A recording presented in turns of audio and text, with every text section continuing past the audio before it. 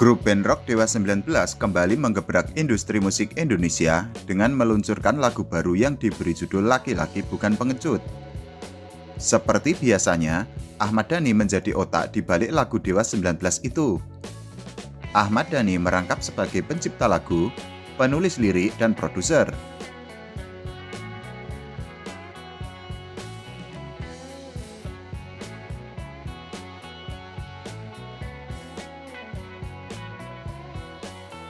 Dewa 19 tampil dengan nuansa yang sangat berbeda dibandingkan lagu-lagu di berbagai album Dewa 19 sebelumnya.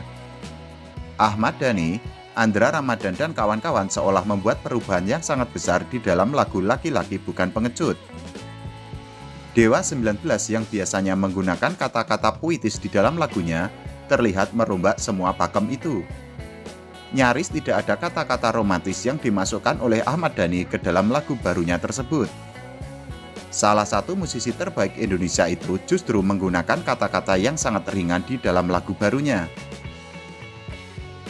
Kata-kata di dalam lirik lagu Laki-Laki Bukan Pengecut terdengar seperti kata-kata yang biasa digunakan dalam percakapan sehari-hari.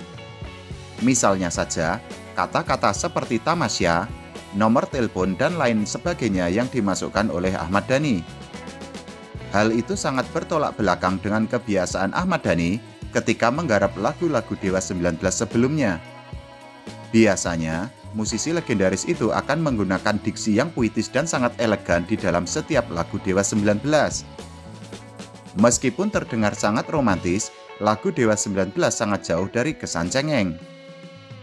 Keputusan Ahmad Dhani menggunakan kata-kata sederhana di dalam lagu Laki-Laki Bukan Pengecut juga menimbulkan pro dan kontra. Di dalam berbagai komentar di kanal YouTube, banyak penggemar musik yang menilai lagu Dewa 19 itu mengalami penurunan kualitas dibandingkan biasanya. Ada juga penggemar musik yang menganggap lagu Laki-Laki Bukan Pengecut tidak pantas dibawakan oleh Dewa 19. Mereka menilai lagu tersebut lebih cocok dibawakan oleh laki-laki Bahkan, ada juga penggemar musik yang menganggap Ahmad Dhani dan kawan-kawan sudah tidak bisa menciptakan lagu yang berkualitas lagi.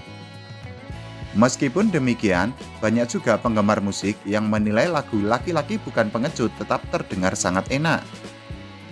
Menurut mereka, lagu itu harus didengarkan berulang kali agar bisa menemukan sisi elegannya.